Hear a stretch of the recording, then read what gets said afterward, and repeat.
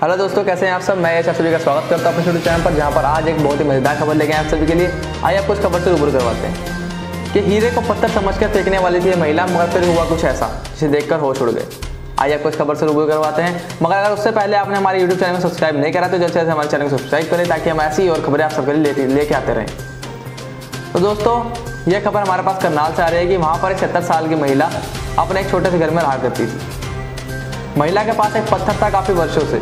एक दिन उसने सोचा कि मैं इस पत्थर को फेंक देती हूँ, किस काम का है मेरे लिए। जैसे ही वो पत्थर को उठा के फेंकने लगी तो उसने उस पर गौर करा कि वह एक पत्थर नहीं, वो एक हीरा है। तो उसने उसे अपनी ज्वेलरी में डाल दिया। उसने सोचा कि ये भी कोई सस्ता सा ही होगा तो मैं इसे बेच देती हूँ, क्योंकि उस महिला को उस टाइम पे सबसे ज़्यादा पैसों की ज़रूरत थी तो इसलिए वो अपनी ज्वेलरी को भी बेचने जा रही थी। जब वो ज्वेलरी वाले के पास पहुँची तो उस खरीदार ने बताया कि मैं बाकी सब ज्वेलरी की तो कीमत दे सकता हूँ, मगर इस हीरे की कीमत नहीं दे सकता।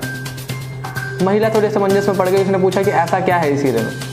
उसने बोला कि यह एक चौंतीस कैरेट का हीरा है, जिसकी कीमत कम से कम बीस करोड़ रुपए है। महिला यह सुन के हैरान होगी कि उसकी किस्मत आखिर पलटी तो कैसे पलटी? कि किसी समय में वो अपनी सारी ज्वेलरी बेच के अपना गुजारा करना चाह रही थी, उसके पास 20 करोड़ का हीरा था। उस खरीदार ने उसे बोला कि मैं इस हीरे की बोली लगवा दूँगा। उसमें से जो भी टैक्स वगैरह कट के आपको मिलेगा, वो आपका होगा लगभग पंद्रह करोड़ तक। महिला यह बात सुनकर काफ़ी ज़्यादा खुश हो गई कि उसकी ज़िंदगी आखिरकार संवरने के तौर पर आ गई। तो दोस्तों, ये खबर थी आप सभी के लिए। आपकी इसके बारे में क्या राय है, हमें हमारे कमेंट बॉक्स में ज़रूर बताएँ। हमारी वीडियो को लाइक ज़रूर करें, चैनल सब्सक्राइब ज़रूर करें। धन्यवाद।